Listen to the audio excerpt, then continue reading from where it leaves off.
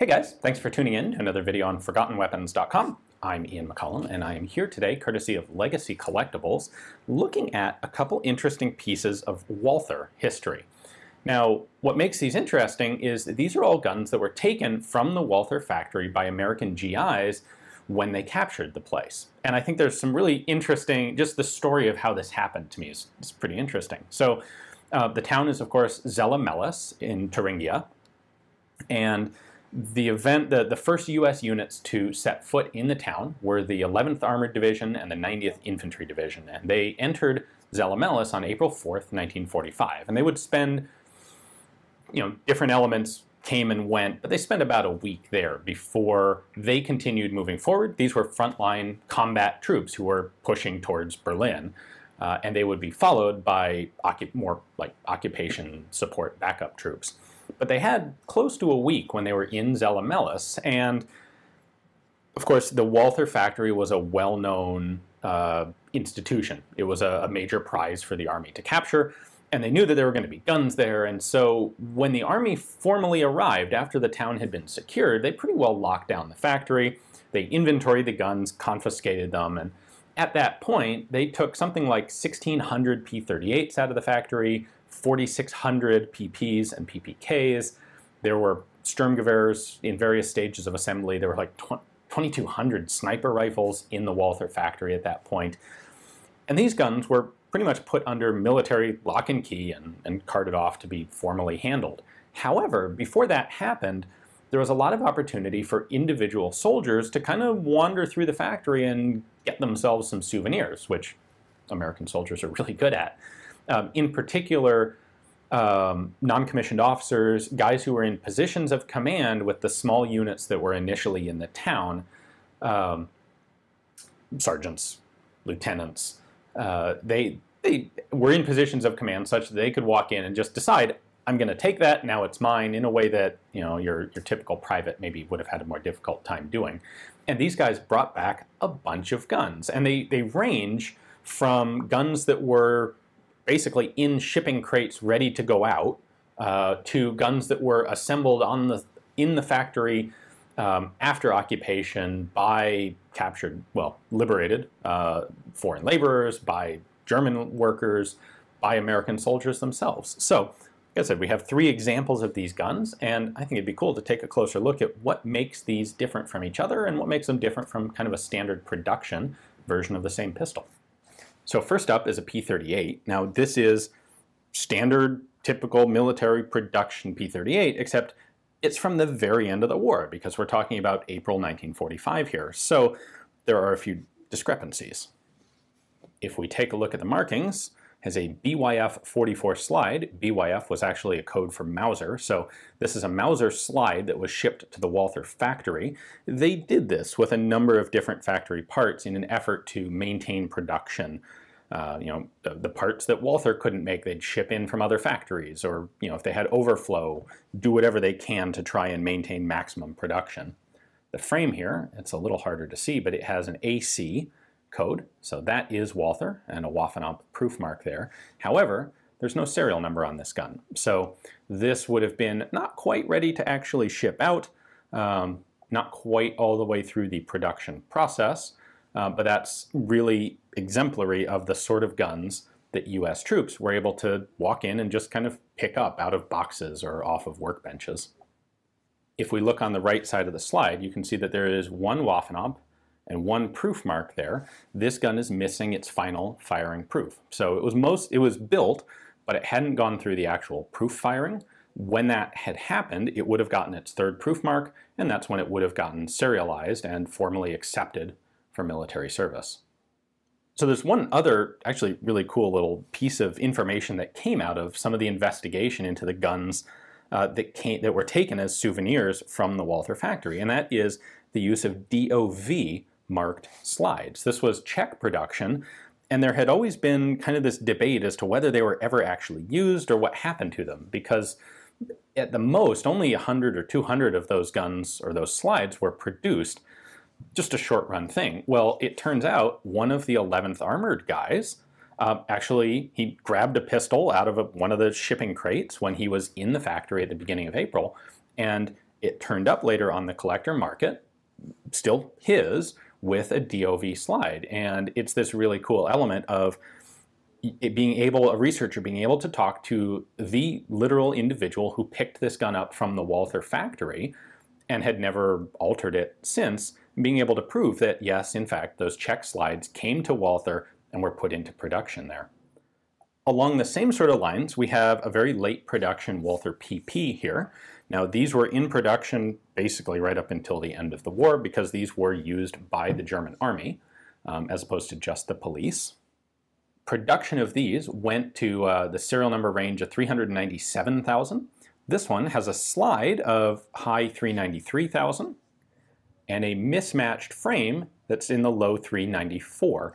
This is a gun that would have been taken as parts, probably an assembled frame and an assembled slide, and matched together and taken as a souvenir by one of the GIs in that early wave of uh, occupation troops, or of, uh, I suppose, being Americans, everything that we occupy is liberated, so we'll call them liberation troops that came in in early April. Late in the war, there were a bunch of measures that had been taken to simplify um, and expedite production of these guns, as with everything else that the Germans were manufacturing, and that included getting rid of the slide markings. So we just have a, a still somewhat rough uh, plain slide surface there. Just as a comparison, here's what a very early production Walther PP looked like. These have this gorgeous high polished blue finish, and you can see a fairly elaborate uh, slide marking there. And that has all gone by the wayside. The original uh, plastic grips were at the very end of the war replaced by wood because even things like plastic moldings were getting to be difficult to do. And everything about this gun is, it's cruder. It's not as finely finished um, as the pre-war examples. So that's, that's your, uh, your, your change in production economy over the course of a war.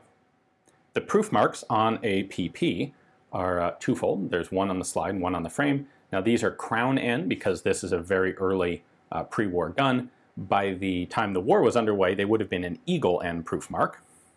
However, as you can see, there are none on this pistol, and that's because, again, this was assembled from a couple of, of major element, major components in the factory to be taken as a souvenir. So we would expect a pair of uh, eagle N proof marks on the slide and frame right there.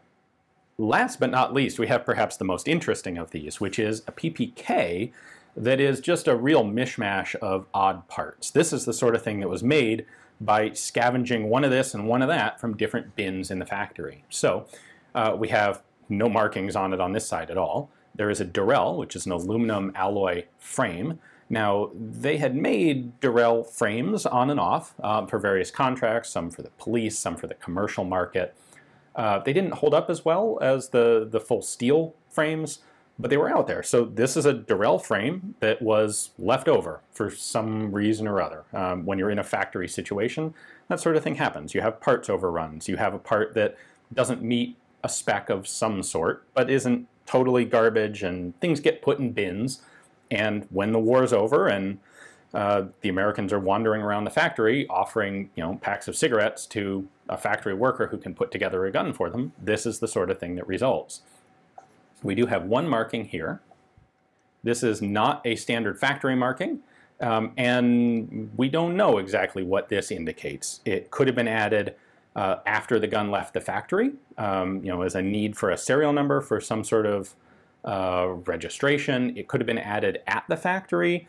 It could have been something as simple as the GI who wanted this gun figured he couldn't get uh, bring back papers, uh, you know, war trophy papers for it if it didn't have a serial number to write down, so he had a serial number put on it.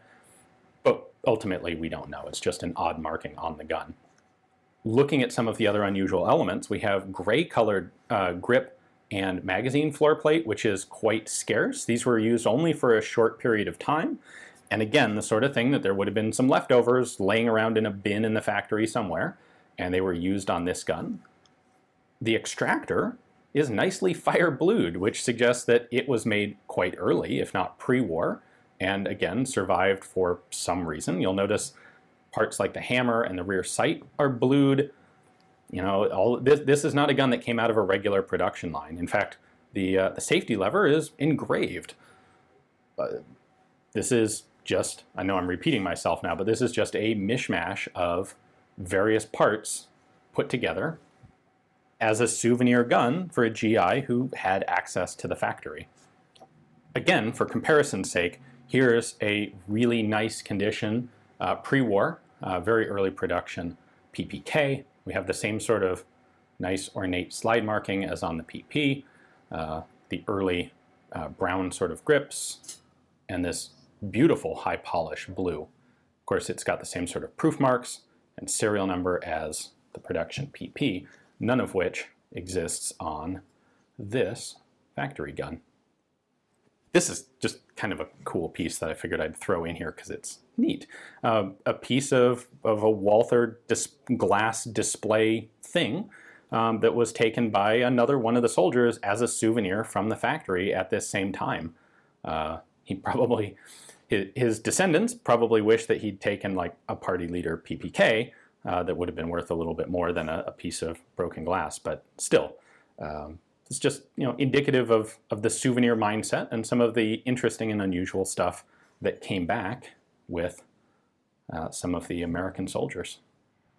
So to me, this sort of little vignette, the occupation of the Walther factory and what happened there and how that turns into souvenirs that come back to the US, I think that's a, a very cool little, little special piece of history there. So hopefully you guys enjoyed getting a chance to take a look at these examples.